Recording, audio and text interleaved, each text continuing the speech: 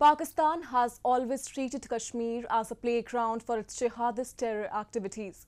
Pakistan-backed terror groups through regular infiltration, radicalization of local youth, killing innocent people and several terror attacks kept the situation tense in the Union territory for several years. However, since the abrogation of Article 370, Indian security forces have managed to foil all its devious agendas and maintain tranquility in the valley.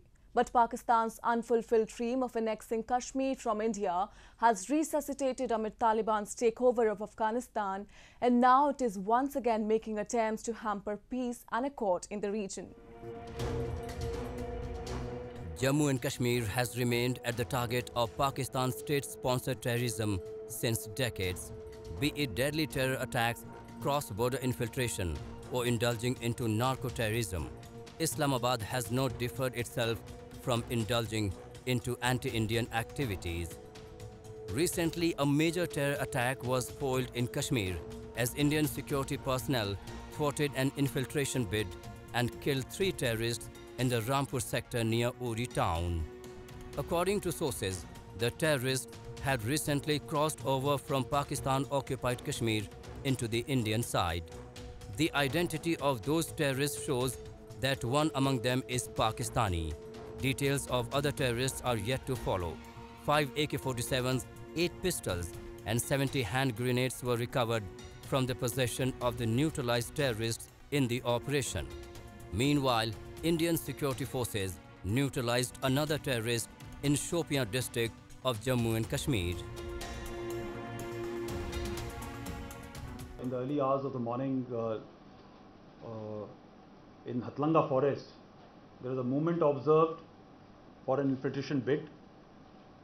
In a very short, brief operation, this uh, attempt was eliminated by alert troops along the line of control. Uh, on 18th, a similar attempt was made in the hours of darkness and over a period of about three days during this operation it was revealed or rather confirmed that that attempt for infiltration was foiled. So in just last about one week's time, we had we have had one attempt which has been foiled and one that has been eliminated. India's timely interventions on the border have left Pakistan deeply worried as there has been a significant drop in the infiltration of terrorists from across the border due to the strict vigil of Indian security forces along the line of control. Thus, Pakistan is now preparing a devious recruitment plan in Jammu and Kashmir. The security forces in the country are on high alert amid Pakistan's plan to push Kashmiri youngsters into terrorism. Sources say that Pakistan-backed terror commanders in Kashmir are using Taliban's videos as part of its plan to radicalize youth and push them into their terror agenda. According to a report by Indian security agencies, 110 terrorists were eliminated in encounters till August this year. However, 82 youngsters from Kashmir have been brainwashed so far to join various terror organizations.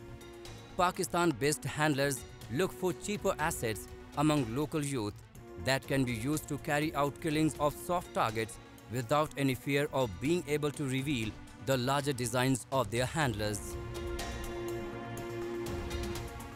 It is a fact that Pakistan-based terrorists Lashkar-e-Toiba, Hizbul Mujahideen, Jaish Mohammed, ISIS, Taliban, with the assistance of the Pakistani army and the ISI, are making increasing attempts at infiltration into Jammu and Kashmir so that they can cause maximum chaos and mayhem. They want to disturb peace and tranquility in the valley. Ceasefire notwithstanding, the efforts are ongoing and will continue to increase by the order of magnitude in the weeks and months ahead.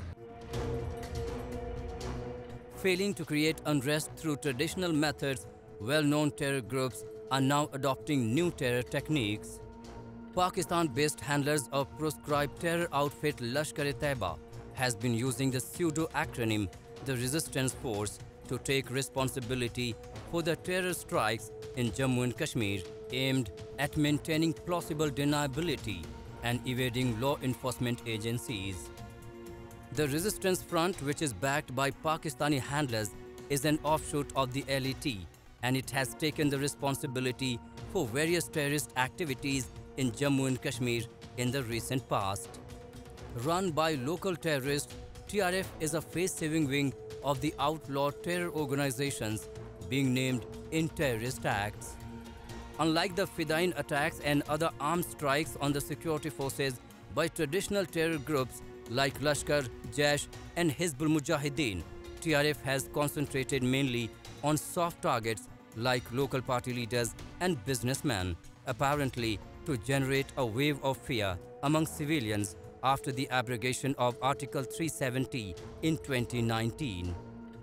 For decades, Pakistan has been dreaming of capturing Kashmir, yet it has never been able to do so. It is again dreaming the same, this time with the help of the Taliban. Consequently, Jammu and Kashmir has witnessed a slight rise in violence. Terror launchpads close to the border are being active again, with Pakistan-backed terror groups and their associates continuously attempting to foment trouble in the Union territory by making constant infiltration attempts despite ceasefire in place.